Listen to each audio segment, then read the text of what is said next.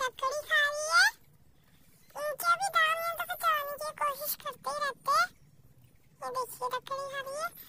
और भारत में भी खाना शुरू कर दी ककड़ी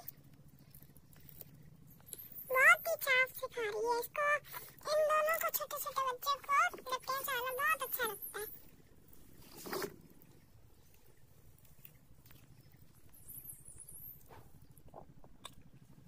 देखिए भारत भी खा रहा है लकड़ी